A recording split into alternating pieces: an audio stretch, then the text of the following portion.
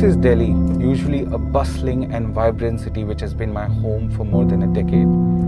But I can hardly recognize it now. Just look at the lines of ambulances.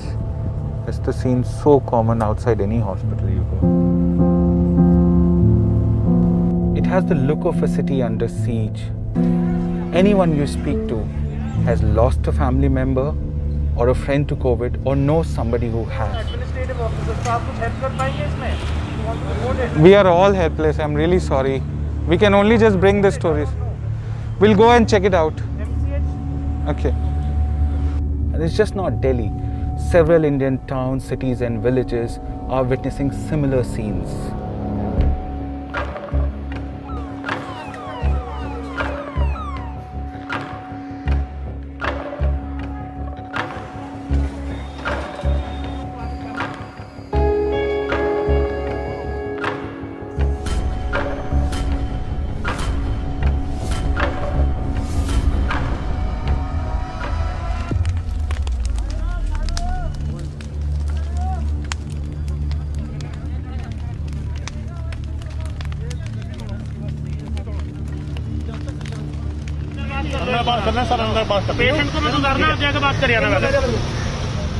It seems the city's very existence is now limited to four places hospitals, medicine stores, oxygen refilling stations, and crematoriums.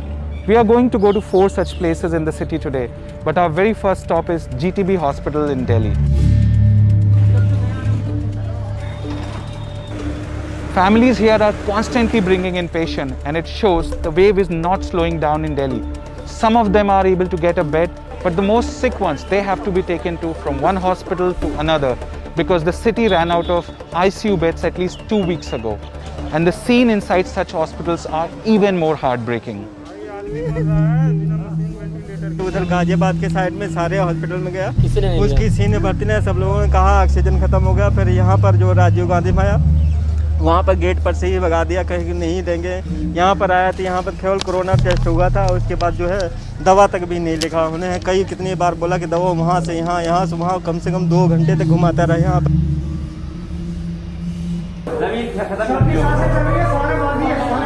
सारे मरे पड़े।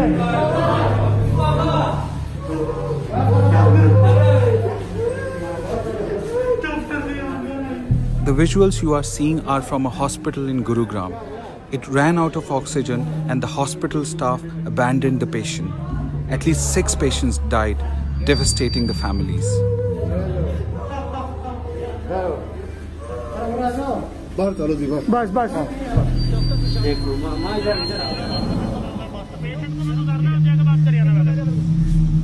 The second wave has touched everyone. Most people are spending their days trying to find a hospital bed, an oxygen cylinder, medicines,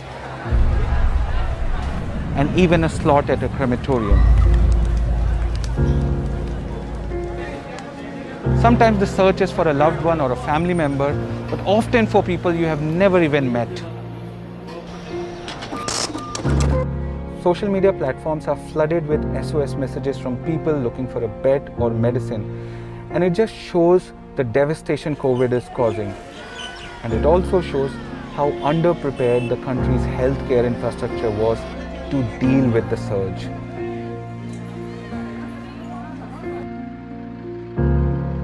Sometimes you are able to help people, but often you are not. So many people have stories of sheer helplessness, of not being able to find a bed for a sick person, and then later learning about his or her death. I too have a similar story when I couldn't find a ventilator bed for a loved one, and he died. Our second stop is an oxygen refilling stations. When families can't find a hospital bed, they look to procure one such oxygen cylinder to help their patients keep breathing. But even getting one cylinder is a difficult task. So many people here have been standing for five to six hours to get a cylinder, but there's no guarantee that they will get one. ये तो sir मना कर रहे हैं कि ना अपने घर जाओ। जो मर्ज़ी मरता है आपका मरने दो। इन लोगों को कोई लेना देना नहीं है क्योंकि इन लोगों के घर में कोई नहीं है।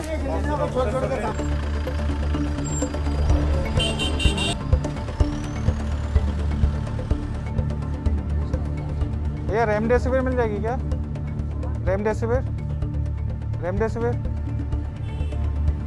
So we are now outside one of the busiest medicine markets uh, in Delhi. Medicines like uh, uh, remdesivir and tocilizumab are not available here. When families get tired of uh, going from one shop to the other, they turn to the black market where they have to pay exorbitant amount for these drugs.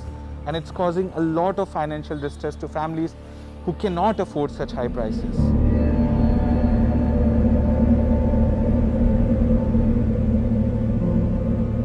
Our final stop is this crematorium in Delhi. This one and so many others saw long queues in the past two, three weeks. I remember a friend sending me a text and asking if I had a contact in a crematorium because he could not get his aunt cremated who had died of COVID. It was the most heartbreaking text I have ever received. Another friend told me that his father was cremated along with 20 other bodies and he just did not know which pyre to look at to say his final goodbye. As he put it, there was no dignity even after death. यहाँ पे लगा लीजिए कि ज़िंदा तो छोड़िए कि लेकिन मरने के बाद भी लोग यहाँ पर सही से मतलब उनकी विचारों की क्रिया भी सही से नहीं हो पा रही है। क्योंकि क्या करें पंडित यहाँ पे चार पाँच लोग हैं वो कितना संभालेंगे सबको? और आप देख ही रहे हैं कि यहाँ पे डेड बॉडी इतने लगाने के बाद में भी अभी वेटिंग में भी है और एम्बुलेंसों के अंदर भरी रही है।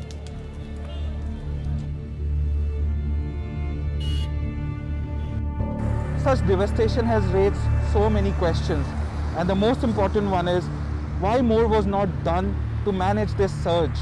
Why, even after two weeks, people are still struggling to find the bed, medicines, and oxygen? For my friend and many like him, it will take a long time before they can call Delhi their home again. And the scars this wave has left may never heal.